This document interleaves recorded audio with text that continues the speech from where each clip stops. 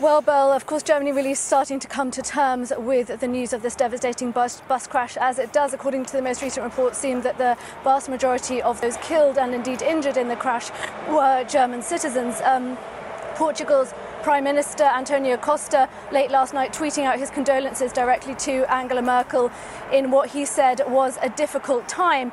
Angela Merkel's spokesman Steffen Seibert late last night tweeting, and I quote, devastating news from Madeira. We are in deep grief for all of those who lost their lives in this bus tragedy, and our thoughts are with those who have been injured.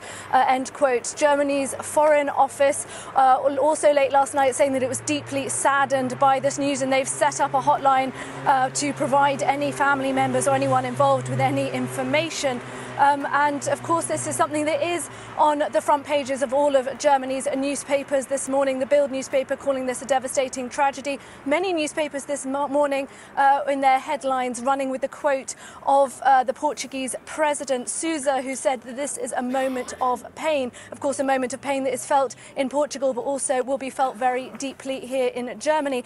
And many German citizens waking up this morning to this devastating news are starting to express their feelings and their condolences on social media. Many people, of course, pointing out that this is a tragedy that happened so close to the Easter holidays, a time that's supposed to be about family coming together and uh, a celebration. So this is a, real tragedy. And of course, many people questioning uh, just how this tragedy happened. How could this bus crash have happened? Of course, this is something that will still need to be investigated.